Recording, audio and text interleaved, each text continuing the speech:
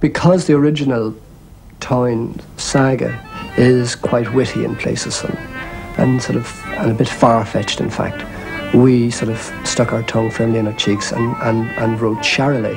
And the thing is, the Charolais, while it's quite an expensive animal, um, was only introduced to these islands maybe 12 years ago.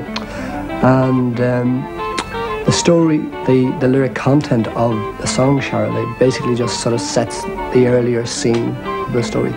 It refers to um, Queen Maeve having a quarrel with her husband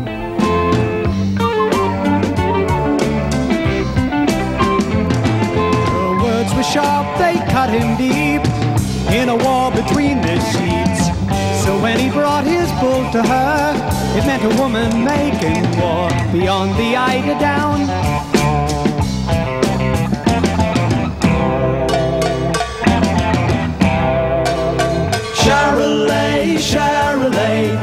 Are come for you today. The champions and the seven sons are come to take away the Dun.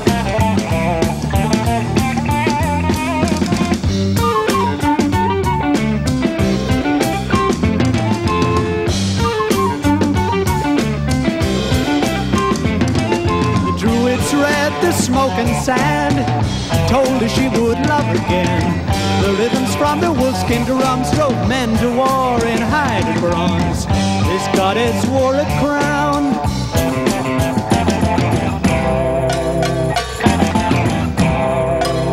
Charolais, Charolais, we are come for you today. The champions and the seven sons are come to take away the Dun.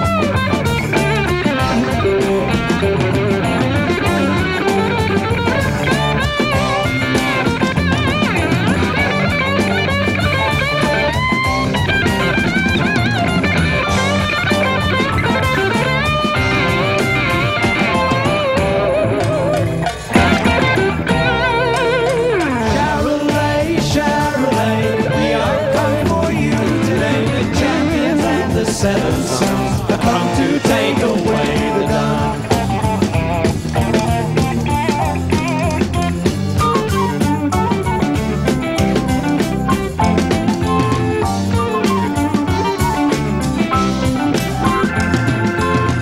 But the fairy chases you more. saw the host in red in war.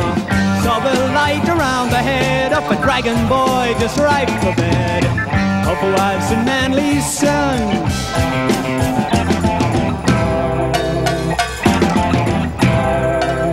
Charolais, Charolais, we are come for you today. The champions and the seven sons are come to take